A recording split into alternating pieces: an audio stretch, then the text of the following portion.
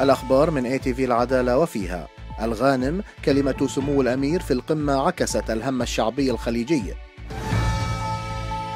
ونواب المجلس يؤكدون الكلمة أثلجت صدور الشعوب الخليجية. وزير الدفاع يوصي بتطوير الجيش ليواكب ما توصلت إليه الجيوش من تقدم. للمرة الثانية لمويزري لم يحضر اجتماع التشريعية.